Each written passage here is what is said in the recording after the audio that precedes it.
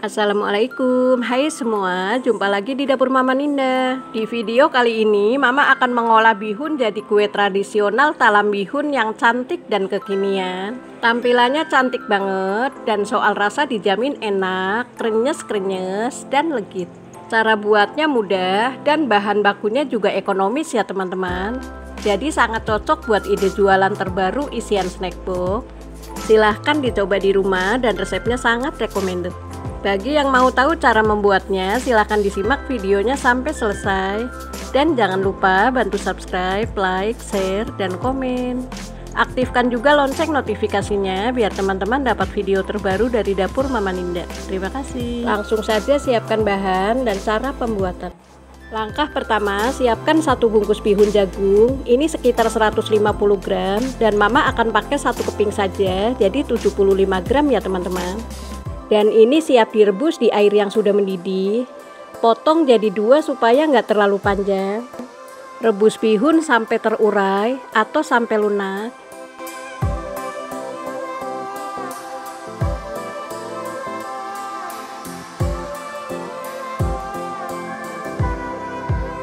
Nah, ini bihunnya sudah lunak, kemudian matikan api kompornya dan angkat, lalu saring terlebih dahulu. Bagi bihun menjadi tiga bagian sama rata. Ini akan mama beri pewarna makanan ya teman-teman. Untuk pewarna makanannya bebas, disesuaikan saja dengan selera masing-masing. Yang pertama beri pewarna makanan warna merah rose secukupnya, lalu aduk sampai tercampur rata. Nah ini sudah cukup. Untuk kepekatan warna disesuaikan saja dengan selera. Yang kedua beri pewarna makanan warna orange secukupnya Aduk sampai tercampur rata. Dan yang satu bagian lagi beri pasta pandan Dan lakukan sampai selesai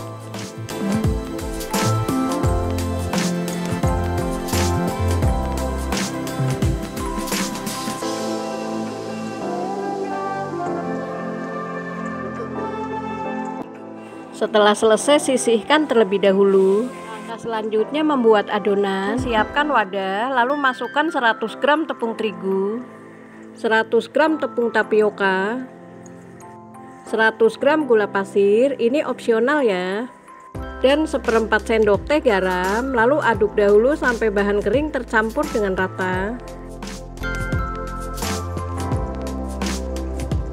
Oh iya, ini akan mama tambahkan sekitar setengah sendok teh pewarna makanan warna putih. Aduk hingga rata. Jika teman-teman gak suka pewarna putih ini bisa di skip ya. Lalu masukkan 400 ml santan, dimasukkan dua tahap. Aduk sampai tercampur rata. Dan lakukan sampai santan habis.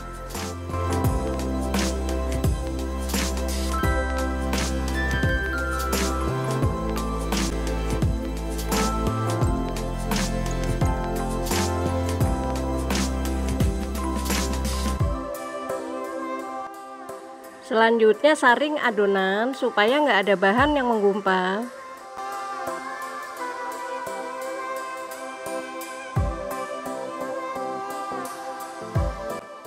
Sisihkan terlebih dahulu. Langkah selanjutnya siapkan cetakan bunga sakura. Ini diameter 6,5 cm.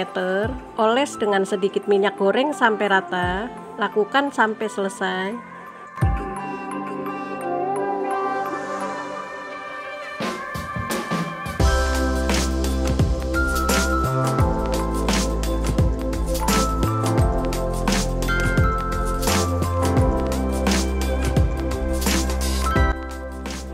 Setelah selesai masukkan adonan sekitar setengah sendok teh.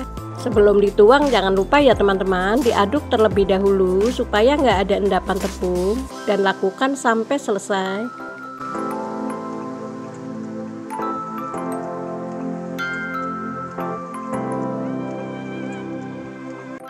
Nah ini sudah selesai dan siap dikukus. Sebelumnya mama sudah panaskan kukusan dan tutupnya sudah dilapisi dengan serbet bersih supaya uap panasnya nggak menetes ke adonan.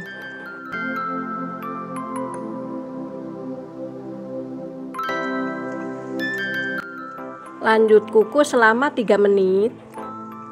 Ini sudah 3 menit, lalu masukkan bihun, diselang-seling warnanya ya teman-teman. Nah, seperti ini, lakukan sampai selesai.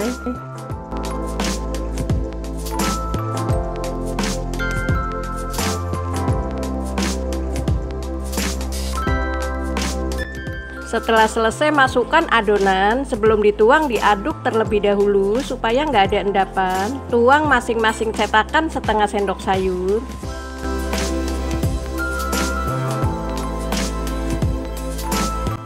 Kukus selama 5 menit.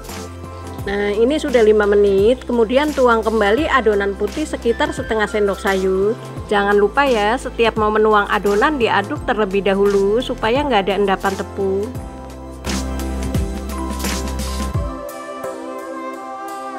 Kukus kembali selama 5 menit. Ini sudah 5 menit, kemudian sisa adonan mama beri pasta pandan secukupnya, aduk hingga rata. Jika mau polosan saja putih juga nggak apa-apa ya teman-teman. Dan tuang sampai penuh.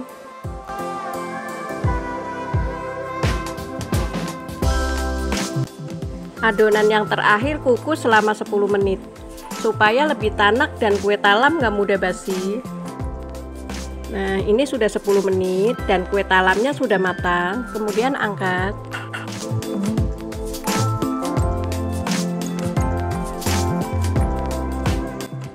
Setelah dingin keluarkan dari cetakan dan ini teksturnya sangat lembut. Cara mengeluarkannya sangat mudah, cukup balik cetakan. Nah, hasilnya cantik banget dan teksturnya sangat lentur. Alasi dengan daun pisang dan tata di cooling rack. Lakukan sampai selesai.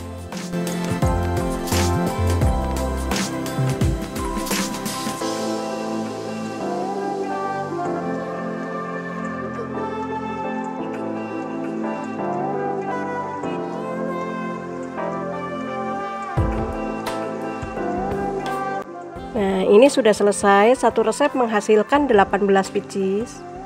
Jika mau coba jualan, kemas dengan mika ukuran nomor 6, lalu tutup dan staples. Supaya lebih menarik, beri stiker ucapan terima kasih. Hasilnya jadi lebih cantik dan kekinian ya teman-teman. Sekarang waktunya icip-icip.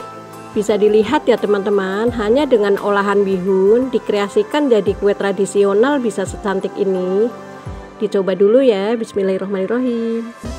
Hmm, ini rasanya benar-benar enak banget lembut krenyes-krenyes dan legit. Teman-teman wajib coba di rumah. Ini resepnya recommended banget buat ide jualan. Selamat mencoba ya, semoga resepnya bermanfaat dan menginspirasi. Sekian dulu video kali ini, sampai jumpa lagi di video selanjutnya.